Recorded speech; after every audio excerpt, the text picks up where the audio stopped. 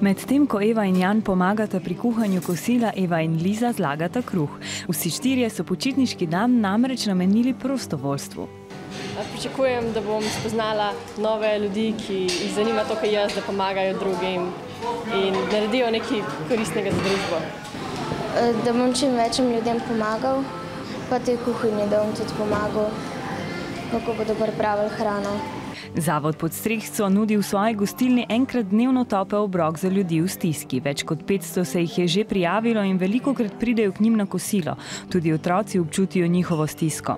Ja, ko vidim ljudi v stiski, um, mi je težko, zaradi tega, ker um, bi rada videla, da so tudi oni pač nasmejani, zato jim pomagam.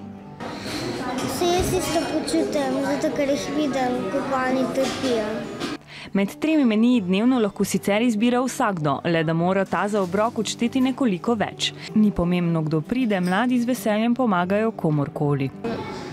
Dobro mi je, da nekaj za druge naredim, um, pa da jim mogoče tudi polepšam dan.